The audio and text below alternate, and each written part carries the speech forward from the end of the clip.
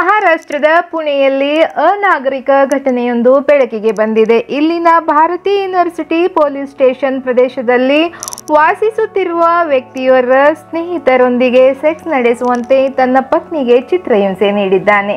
ವಿಕೃತ ಗಂಡನ ಕಿರುಕುಳ ತಾಣಲಾರದೆ ನಲವತ್ತೆಂಟು ವರ್ಷದ ಮಹಿಳೆ ಪೊಲೀಸ್ ಠಾಣೆ ಮೆಟ್ಟಲೇರಿದ್ದಾಳೆ. ಮಹಿಳೆಯ ದೂರು ಆಧರಿಸಿ ಪೊಲೀಸರು ಮಹಿಳೆಯ ಗಂಡ ಮತ್ತು ಆತನ ಇಬ್ಬರು ಸ್ನೇಹಿತರ ವಿರುದ್ಧ ಪ್ರಕರಣ ದಾಖಲಿಸಿ ತನಿಖೆ ಕೈಗೊಂಡಿದ್ದಾರೆ.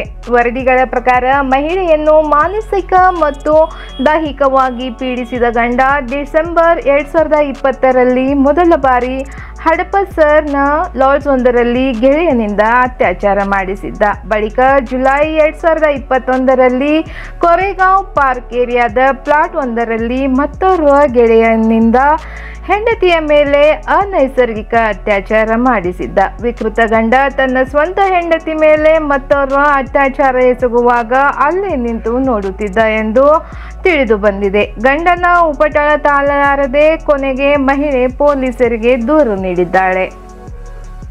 ಹೆಚ್ಚಿನ ಸುದ್ದಿಗಳಿಗಾಗಿ ಟಿವಿ ಟ್ವೆಂಟಿ ಫೋರ್ ಅನ್ನ ಸಬ್ಸ್ಕ್ರೈಬ್ ಮಾಡಿ ಮತ್ತು ಪಕ್ಕದಲ್ಲಿರುವ ಬೆಲ್ ಬಟನ್ ಅನ್ನ ಕ್ಲಿಕ್ ಮಾಡಿ. ನಾವು ಮಾಡುವ ಎಲ್ಲಾ ಸುದ್ದಿಗಳು ನೇರವಾಗಿ ನಿಮ್ಮ ಮೊಬೈಲ್ಗೆ ಬರುತ್ತೆ.